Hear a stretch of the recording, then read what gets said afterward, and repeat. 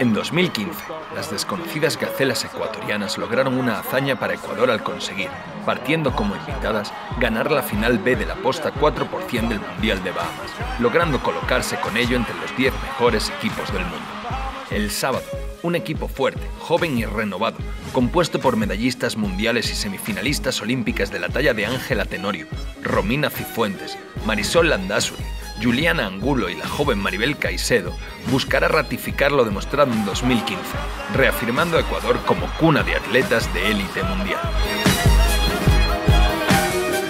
Juntos somos mejores.